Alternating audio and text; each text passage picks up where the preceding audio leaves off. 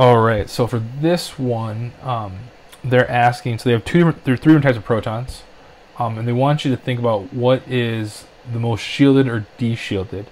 So de-shielded, of course, means farther downfield, so higher ppm.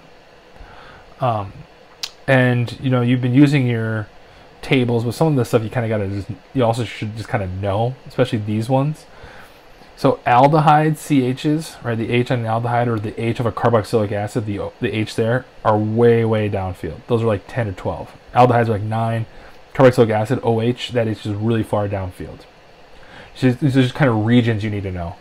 The aromatic ring region, right, is from 6.5 to 8.5. That's where Y would be at. And then the benzylic region right here is right around 2.5 to 1.5. So the most de-shielded is the aldehyde. Next is the aromatic hydrogen, Y, and then X. And then when you look at sapling, you get you just I mean I, I how you do these homework how you do multiple choice problems is come up with your answer, write it down, and then go look for the make sure see if your answer is there. Right. Classic mistake for multiple choice questions is you look at the answers first.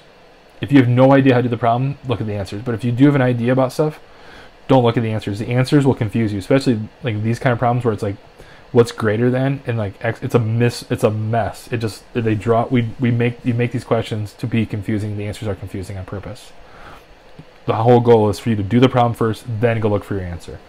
Aldehydes carboxylic acids way de-shielded 9 to 12 aromatic rings 6.5 to 8.5 um, benzylic positions right next to a pi bond 2.5 to 1.5 so just kind of know those things um, a little bit and you'll be fine Sorry, I forgot to say that was number 28.